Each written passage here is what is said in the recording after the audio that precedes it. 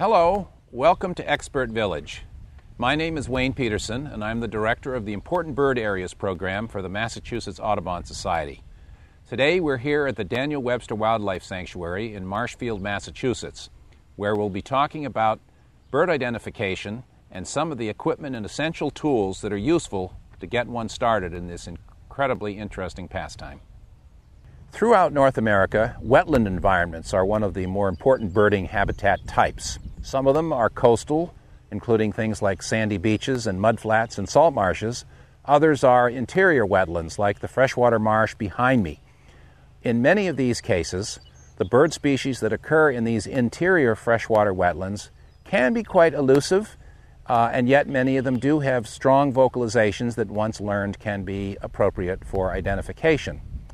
Some of the birds, like the rails, the Virginia rail, for example, and the sora, tend to stay hidden in the cattails, as do birds like the American bittern that we described earlier.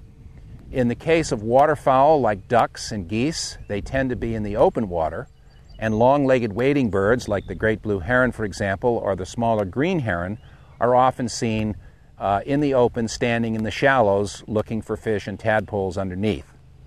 A good way to observe wetland birds is from a canoe or a kayak, or by simply sitting quietly at the edge of the marsh, uh, particularly in the very early morning and then again late in the afternoon or dusk period just before dark. In fact, some wetland birds are active and, and actually will sing and call at night.